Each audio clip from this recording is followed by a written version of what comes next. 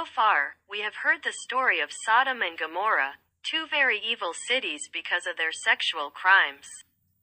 But did you know that their crime is not only that? The people of Sodom and Gomorrah were very cruel to foreigners and poor people who entered their territory. Keep watching this video until it's finished so you understand why God was so angry with Sodom and Gomorrah. And the cities of Sodom had four judges for the four cities, and these are their names Sarach in the city of Sodom, Sharkad in Gomorrah, Zabak in Admah, and Menon in Zeboim. And by order of the four judges, the people of Sodom and Gomorrah made beds by the side of the city streets. And if a stranger comes to these places, they seize him and bring him to one of their beds. And they force him to lie on that bed.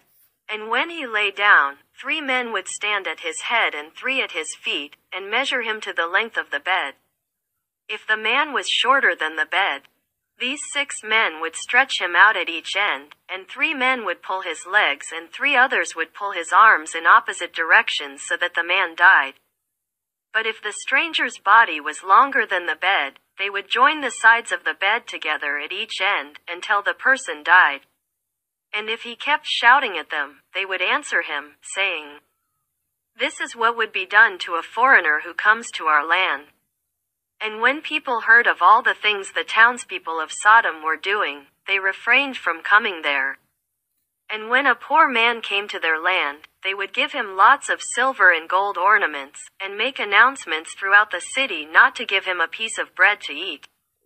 And if the stranger had stayed there a few days, he would have died of starvation. He died because he could not get food, so at his death all the townspeople would come together and take the silver and gold they had given him. And those who could recognize the silver or the gold they had given him, they took it back. And at the death of the poor man, they also took off his clothes, and they would fight over the clothes, and he that was victorious over his neighbor would take them. After that they would take him and bury him under some bushes in the desert. That's what they would do every day for any foreigners who entered their territory.